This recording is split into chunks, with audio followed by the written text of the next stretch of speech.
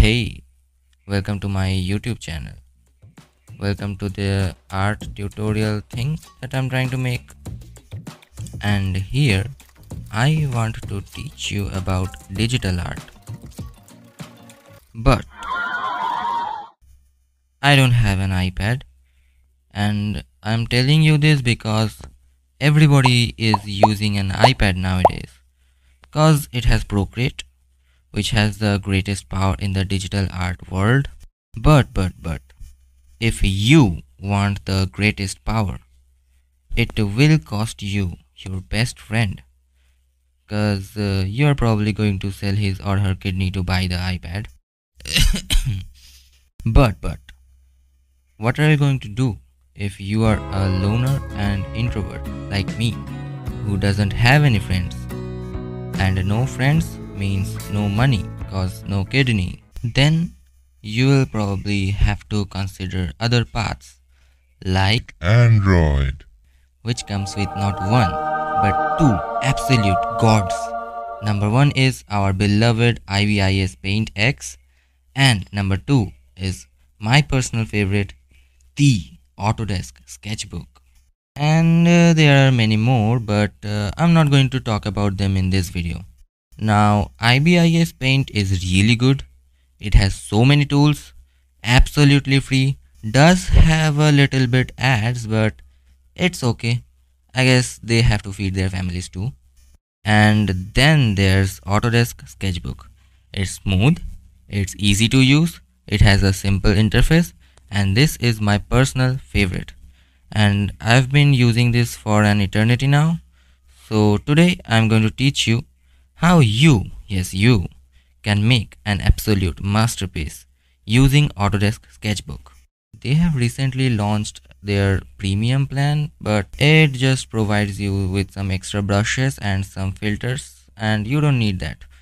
So now, even if you can't draw a proper circle, you can do it in digital art. Just use the predictive stroke in Autodesk Sketchbook and it will literally make any random shape into a proper circle. Just like this. Look at the circle. So before we start to make a proper drawing if you are using an android tablet you can go on. But if you are attempting to draw on your phone first of all you are brave which is really good but you need to make a basic sketch on a paper first and then use it as a reference in Autodesk Sketchbook like this. Just click a photo of your sketch then add it in a layer of Autodesk Sketchbook. Lower the opacity, add another layer over it and draw on it.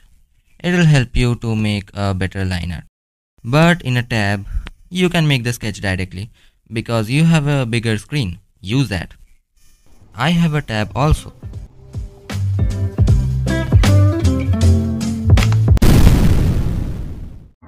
Here I'm making a sketch. I'm going to draw a figure. So I'm using a circle for the head, a weird random shape for the body, lines for limbs and small small little little circles for the joints. So as I told you, to make a beautiful circle, use this curvy line tool. You can set the level also. Level 5 is a bit annoying. Don't use it. Use 3 or 4. See? Even if you make an outline of a map, you can convert it into a pretty perfect shape. So now you are ready to make a detailed sketch over your shitty sketch like this. Just add another layer, lower the opacity of the previous layer and draw on the new layer.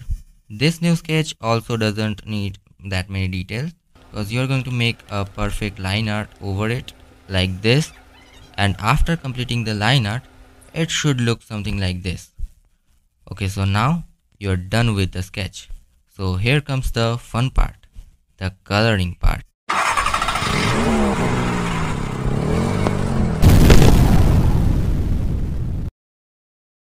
Now i like to color my drawings with this tool. It's called magic wand and it's really helpful.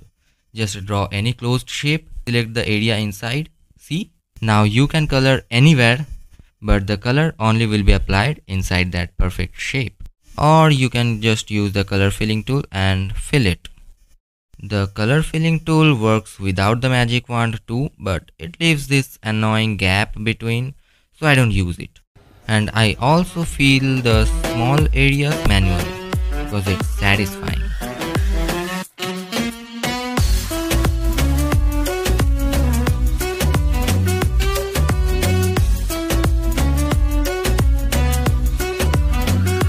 After coloring, it's time to give the drawing a little depth and for that I'm going to add shadows.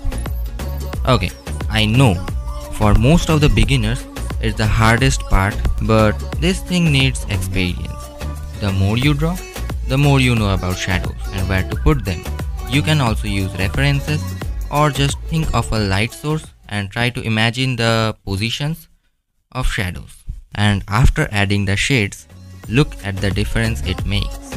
And because I added the shadows in a different layer, I can adjust its opacity and make the shadows darker or lighter. Now I'm adding a background from Google, editing it a little bit so that no one can realize that I took it from Google. And wow, look at the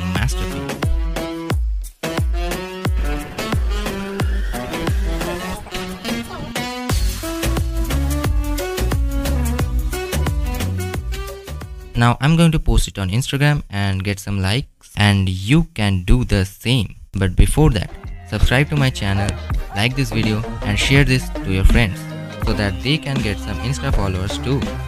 And if you don't do so, hmm, your second at the rate in Instagram will sell your kidney to get an iPad.